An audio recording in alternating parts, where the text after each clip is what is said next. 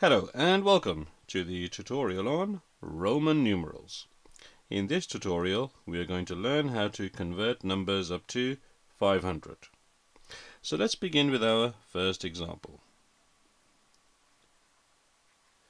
Let's suppose we've got this number 337.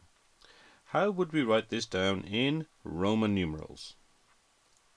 Well, we know from our previous tutorials we start from the left and the first number is, first digit is 3, that's 300. How do we write 300? It is C is 100, so we got C, C, C. So that is, the three C's are the 300.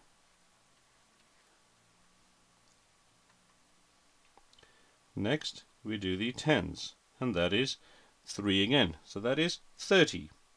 How do we write 30? It is simple. It is x, x, x. So the three x's are 30. And lastly, we do the units, which is 7. what is 7 in Roman numerals? It, that's simple. It is V, I, I. So that is 7. 5, 6, 7.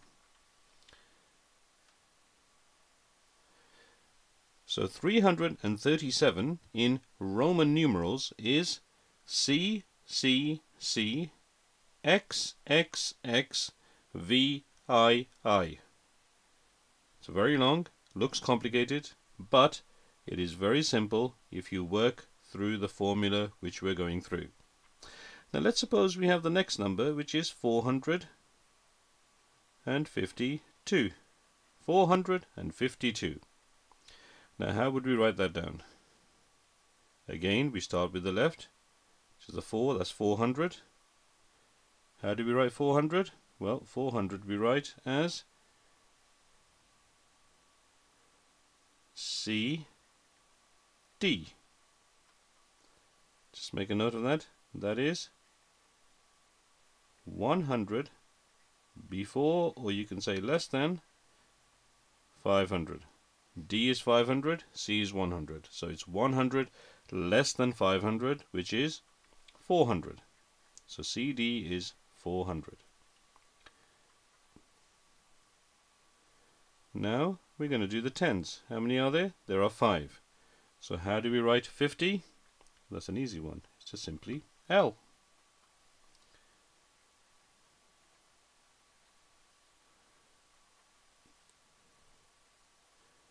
And now lastly, we've got the two units. How do we write those down? I, I. So those are the two units. So 452 is written in Roman numerals as C, D, L, I, I. Now let's move to our final one on this side. How do we write 499? Right, I want you to help me with this. 499. Where do we start? We start on the left-hand side. 400. How do we do 400? Well, we did it up here. It is C, D. So that is 400. Next, we do the units. It's 9. That is 90. How do we write 90? It is x c. X c. That is 10 before or less than 100 that is 90 and lastly we do the units which is 9 how do we write 9 it is i x. So therefore 499 is written in Roman numerals as CD XC IX. Brilliant. Right, now we're going to write Roman numerals and work out what number they represent. So let's start with our first example. Okay, we're going to write it here so we've got a bit of space. We've got C, C, C, L, X, X, V, I, I. Now that looks very long, doesn't it? And it looks quite complicated. Well, it's not going to be. So let's start on the left hand side.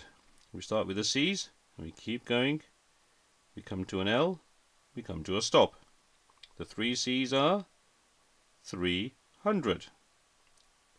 Now we're going to do the tens. We start with the L, keep going until we come to an I or a V. How many is that? Well, L is 50, X is 10, and X is 10. So that is 70. And lastly, we've got is the units. VII. That's 5, 6, 7. So therefore, the Roman numeral, this one, CCC, LXX, VII is 377. Again, it looks complicated, but once you break it down, it's very simple. Let's look at our next example. Suppose this time we have C, C, C, X, C, I, X. This one's a bit shorter, but I don't think it's going to be any simpler, but let's have a look. I'm just kidding. This is very simple. Start on the left hand side. We've got C, C, C. We come to a stop. So that is 300. Next, we have an X and a C. We stop here because we come to an I. What is XC? Well, XC is 10 before, or you can say less than, 100, which, which means it is 90. Lastly, we have IX. What is IX? It's 1 before 10 or 1 less than 10, which means it's 9. Therefore, this Roman numeral is 399. Again, it looks a lot simpler, or should I say, it is a lot simpler than it looks. Right, last one.